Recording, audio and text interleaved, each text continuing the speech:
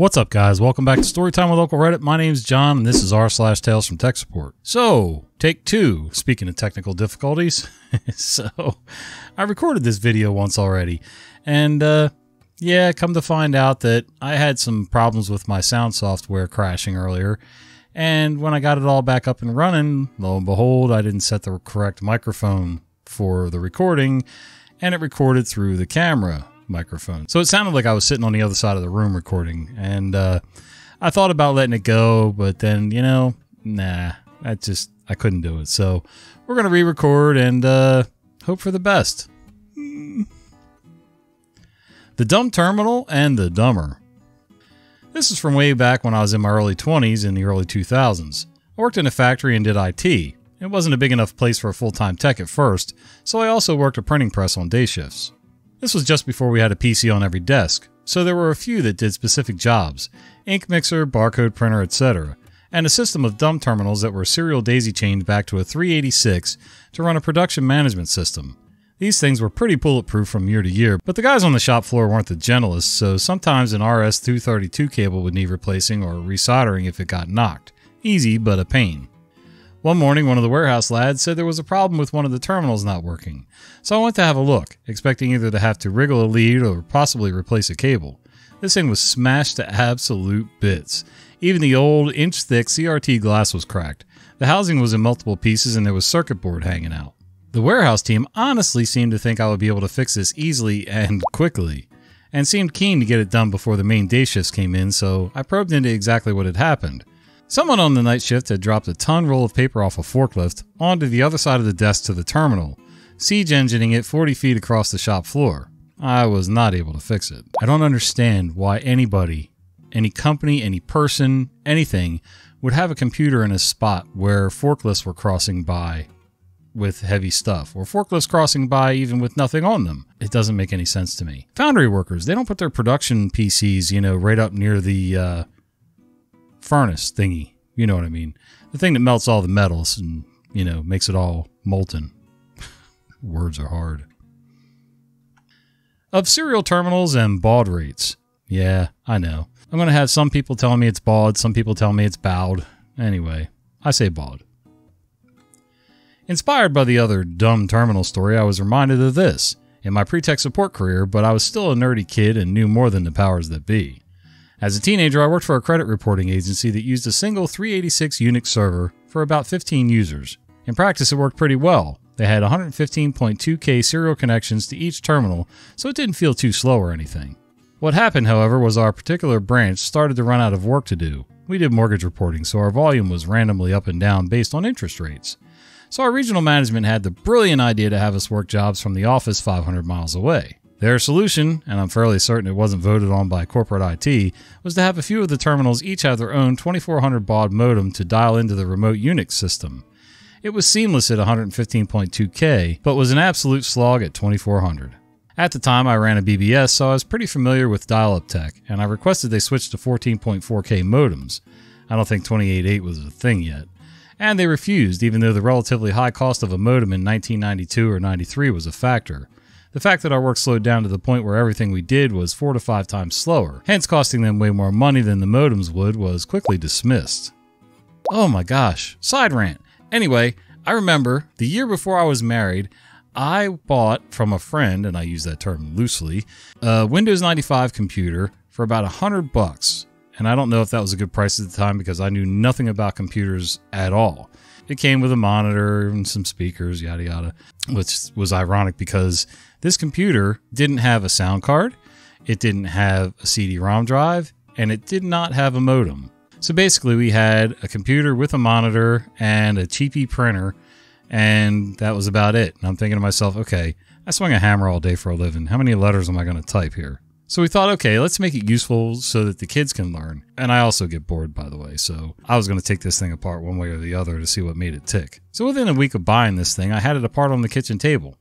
Found out where to order parts from, and I ordered a uh, a sound card. I ordered the CD-ROM drive. I don't remember what speed or anything, but that doesn't matter.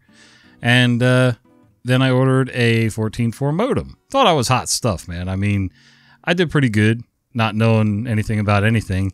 And uh, yeah, I had it all installed, got us up and running, and until I was ready to pay for monthly internet service, I think I was scrounging up AOL CDs at the time. Sounds familiar. I know I did that for months, one way or the other. Uh, you know, sometimes times were tough, so we did what we had to do, and I just keep signing up for new uh, promotional things, you know. And then within about a month, I got tired of the 14.4 speeds and bought me a 28.8 from another friend. I say friend loosely because they really weren't my friends. They were uh, kind of shady, and I haven't talked to them in probably 25 plus years. So there's that. Anyway, side ramble over. Lithium battery. So, a few background facts. I'm an engineering student. I worked at a large Scandinavian electronics store as an in person external support person for customs, or customers, I don't know. We are not trained or required to know IT stuff, so only stuff like installing screen protectors, office packages, and the usual old people support. We have Google and general knowledge and know how. We are in the EU, so GDPR applies to us. So, on to the story. There was this old man, think mobility scooter, spicy water skin type, and oxygen tubes. He comes in every once in a while, really rude, and didn't understand that, no, sir, I'm not allowed to fix your government identification, and no, I don't know what your password is. This goes on for a year or so. One day he comes in and drives up to me. I need a charger for this. Me. Okay, sir, let me take a look. I look, and it's a no brand forehead lamp that we don't sell. Sir, we don't sell this product. Him. Yeah, but there's this port on it. You must know what charger I need. I look at the port, which is a small round hole in an arbitrary size, not a barrel plug or jack size. I see there's a clip, which I open to find two lithium batteries. I say to the man that, Sir, I don't know what charger you need, and we don't have the batteries. Him, can't you just sell me a charger that'll work? Contemplating the level of care I have, and I came to the conclusion that explaining to him lithium battery and dangers of charging them with random voltages was more than I get paid for, but selling him a random charger is fine. Sir, you have to go to the store you bought it from. Him. Huh. And then he drives off to my colleague who sells him a universal charger. I used plenty of universal chargers back in the day. Uh, some of them were even random voltages and everything else. As long as they were within a couple of points, I uh, I used them. Sometimes you had to do what you had to do, and the local RCA only had so many plugs and chargers, and they were known for having everything basically. So if you couldn't find it there, you weren't going to find it pretty much anywhere. But honestly, if this guy was as rude as you say, then uh, screw him. Grab it with your hands. My memory's been inspired by some recent posts. There's me, and then there's User. So, User calls up from one of our more prestigious, read Bastard Evil Property Management Company clients. She's around my age, 25 to 27, and we've been working together for about five years. In these five years, I've done my absolute best to get her to understand some basics of how computers work. This is mostly because my company's tiny, and as such, I wear all hats, so mitigating some of the petty bollocks goes a fair way to making my day easier. At times, she seemed to be making progress. And at other times, it seemed she was actively spiting me. So, anyway, she calls up, issue with her internet. Some workmen had come in, unplugged her Ethernet cable, and plugged it back into the wrong wall port. Normally, this is no biggie, right? Right? So I tell her, find the internet cable coming from the back of your PC. It's probably blue and trace that back to the wall and tell me what number's above the port it's plugged into. I know for a fact that she knows what all of this means. User, sorry, what? I can't find it. You said a blue cable? Me, that's okay, it might not be blue. Could be gray, but either way, you know where it plugs in, right? In the back of your PC? User, yeah, I think I know the one, I just can't find it anywhere.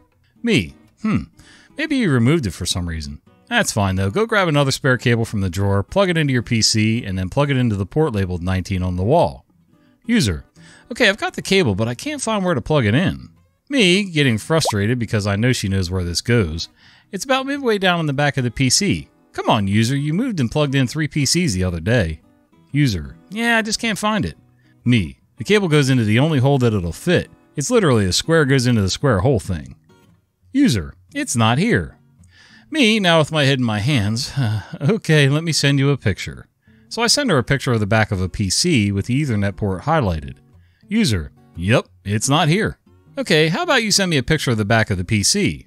User, okay, how do I do that? I can't get behind it. Me, just pull it forward.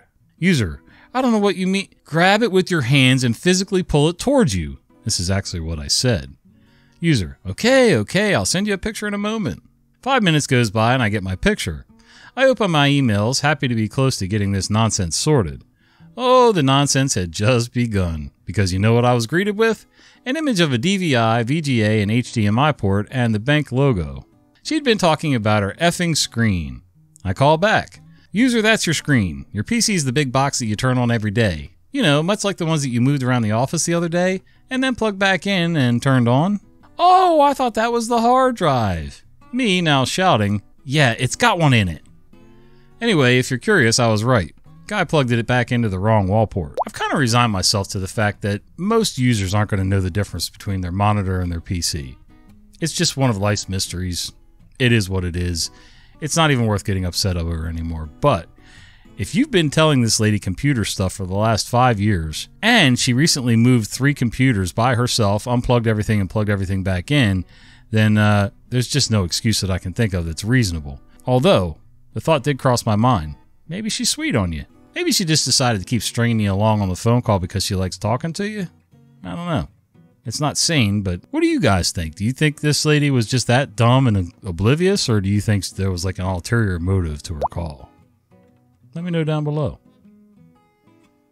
Customer got the laptop, but not the password. Disclaimer I do not work in the IT field, but I do work in the computer lab of my local library and I'm a tech enthusiast, so I provide tech support on a regular basis. I had a man who came in with a Windows laptop. He got the laptop when his brother died, but never got the password. He wanted access to the laptop in case it had sentimental files on it, i.e., photos. I was bored and I had enough knowledge to know that it could be done, so I took the challenge. I would like to note that I'm currently taking some basic IT courses through a local college, but I've done it for less than a year at this point, and my knowledge of computers and general IT stuff is still limited. Step 1 Can we reset password through the normal means? There is a reset password button on the login screen, but nope. We needed access to the email address tied to the person's Microsoft account to go through that process, and we didn't have that. Step 2 Go to Google and do some research. I found multiple utilities to change the password on Windows devices. I downloaded Hiren's boot disk and tried to change the password, but unfortunately it didn't work for the account I wanted to access. However, I was able to unlock an admin account on the computer, and using that, I was able to view other files under different users. I couldn't find any photos, documents, or other files on the laptop. I also used a USB to boot into Linux, look at files on the Windows hard drive. Outside of default Windows data, System32, and things like that, it was empty. I tested this out on my computer and was able to access my personal files through Linux. So I can only assume that this method works on most computers for finding personal files without logging in through Windows. As such, I concluded that the laptop was completely empty of personal files. I gave it back to the man and showed him that it was empty, and he left happy that he has a usable laptop now. I learned a lot during this. I bought USB sticks and learned how to boot into Linux for this project. I now have Hiren's boot disk as a just in case sort of thing, and one happy customer. One of the proudest moments of my career thus far. Good for you, OP, for sticking with it and, you know, working through it, even though you didn't know what you were doing, and I probably wouldn't have either. I, I probably would have had to Google everything, but I do remember having to recover a couple laptops for my kids and my wife at one point in time. Uh, yeah, passwords, man. I also remember going to night school, uh, taking computer science classes, and I sat next to this really sharp whiz kid who knew a lot about computers already and did some programming. And from what I remember, he was just taking the classes so that he could get his official degree and uh, his certs and all that stuff. So Anyway, he's the one that introduced me to Linux to begin with, and he had me set up on a dual boot. Plus, we had a thumb drive that I could boot from into Linux. It was pretty cool being able to get into Linux and mess around. I, I didn't have much use for it, and I still don't to this day. It's just not something that, you know, I get myself wrapped up into, but it was pretty neat. I think that was Ubuntu at the time. Uh, but yeah, pretty neat stuff. The one about the wireless access point that uh, wasn't supposed to exist. To set the stage, this event took place about 20 years ago or so. T1 lines running at a blazing 1.5 megabits per second were still the corporate internet gold standard at the time, and my office building had two, count 'em, two T1 lines. We were living high on the hog. I was fairly low level technician on the tech support and system administration team. We were, of course, charged with maintaining that network, among other things. Yes, that means I periodically ran Ethernet cables through the ceiling and could regularly be found asking people things much like, Have you tried turning it off and on again? before the IT crowd was even a thing. Some of the dialogue and such may be slightly off given the passage of time, but the general gist is accurate enough. Our characters for today's misadventure are going to be Dave, Alvin, and Simon. I, as your narrator, was a mere bystander in this story and so of no consequence at all. Dave was the assistant manager on our team and generally considered to be pretty bright. On this day, Dave was chatting with one of our end users, Simon, in a conference room on the fifth floor. Simon said, Hey Dave, I didn't know you guys had wireless at this location. Don't you think it ought to be locked down though? Dave was perplexed. What? We don't have any wireless access here. What on earth are you on about? Well, see for yourself. Simon showed Dave his laptop, connected to the internet via a wide open Wi Fi access point. No access security of any kind. Now, you may instinctively speculate that maybe it was just someone else's internet connection, except that we were the sole tenant on the top seven floors of that eight floor building. Oh, and by the way, Simon just happened to be surfing our corporate intranet website. There's all kinds of private corporate stuff on there. You're not supposed to be able to see those websites unless you're either A, physically connected to our corporate intranet, or B, tunneling in via the corporate VPN. A quick showed that the VPN wasn't running, so. What the hell? Dave was no longer merely perplexed, he was hopping mad. He promptly went back to his office on the fourth floor and grabbed his own laptop. He opened up the wireless network connection tool and walked back to the elevators in the center of the building. While standing in the foyer on the fourth floor, he checked for Wi Fi. Sure enough, there was the wireless access point on his screen, but not with the strongest of reception. He got in an elevator, went down to the second floor, and stepped out. The signal was weaker there. He then got back in the elevator and punched the button for the sixth floor. The signal got much stronger. Bingo! He started walking that floor as the signal meter fluctuated, until he saw it. Sitting in plain sight at Alvin's desk was a cheap home Wi Fi router happily blinking its lights and greeting. I'd like to tell you that Dave promptly yelled, Alvin! And that a shocked Alvin practically jumped out of his skin. But alas, while the assumed names herein might have made that piece of the story amusing, it would have been entirely fictional. Plus, Alvin wasn't even in the office at the time. What I can tell you instead is that Dave walked over to that wireless access point, summarily yoinked it from the desk, and took it back to his own office. Then he emailed Alvin to inform him as to the whereabouts of his property. When Alvin came around to collect it, he was quite conciliatory. The explanation he offered was that he was just trying to see if he could work from his laptop outside in the sun or some such thing. He didn't really think through the security aspects of an open access point. No, thankfully, his wireless access point wasn't even remotely strong enough for that, even if it hadn't been abruptly yanked off the network.